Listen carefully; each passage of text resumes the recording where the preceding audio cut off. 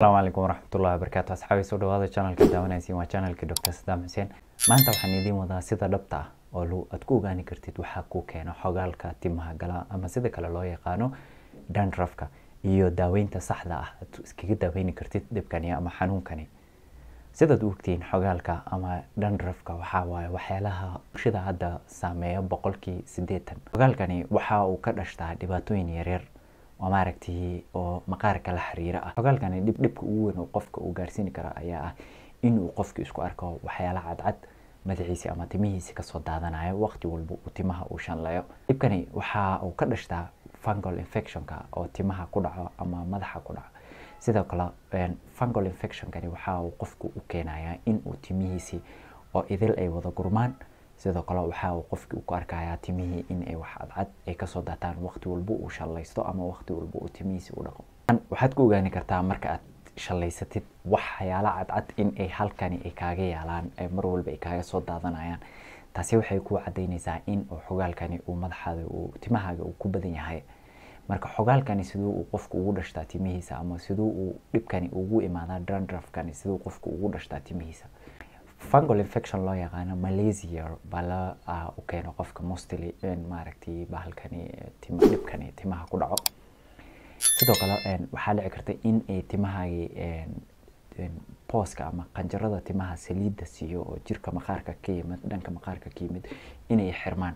Dhibkaasi markaas kadib uu dhashto oo fungal infectionkani malaysiaga loo yaqaano uu ku sii ziyaado qofkii malaysiagan ama cudurkan fungal infectionkani bahalkani oo timaha ku jiro qofka caadiga normal buu u yahay.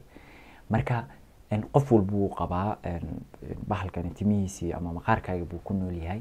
Marka dhibka waxa uu ka dhalanayaa wuu isbedelaya bahalkan. Normal floral oo loo yaqaano malaysia waay marka kadib waxa uu noqonayaa in uu jirkaaga isku bedelo dhibna uu kuu keeno marka uu isbedelo ayuu qofka isku arkayaa fungal infectionkan oo dandruffka loo yaqaano inuu timihiisa ku dhashto.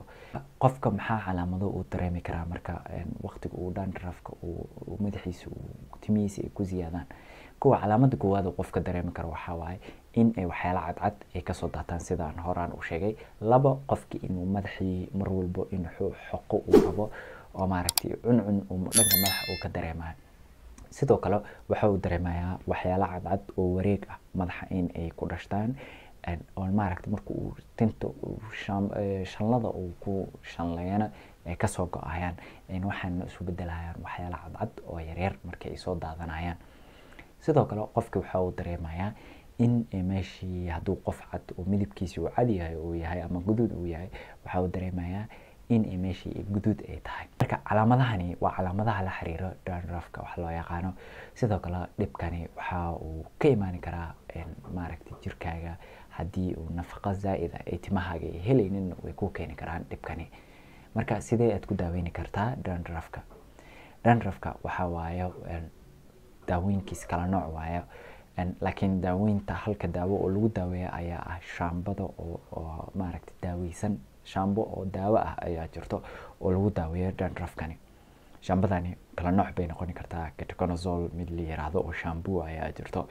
Iyo noocyaal kale oo maaragtay iyadoo zinka ku jiro ketoconazolka iyo zinka daawo kale oo vitamino zinka la yiraahdo la isku daray ayaa la marsanaya. Marka madaxii wiigii ama asbuucii laba mar in aad ku dhaqdid lagaaga baahan yahay waqtiga ugu horreysana laba jeer aad ku dhaqdid marka ugu horreysa oo laba daqiiqa ee u kala dhexeysa shaambada marka aad marsatid aad ka dhaqdid waqtiga ugu horreysa labada saac. Marka dandruffka ama maaragtay xogaalka timaha gala sidaa buu ku imaadaa daaweyntiisna waa sidaas. Asxaabi waxaan soo gaarnay gonaanidka iyo gabagabadii barnaamijka. Fadlan meel walbaad joogtiin channelka kiilowda subscribe like and shareka. Waa anigoo dr sadaan xuseen ah waxaan idin rajaynayaa sidaas iyo nabadgelyo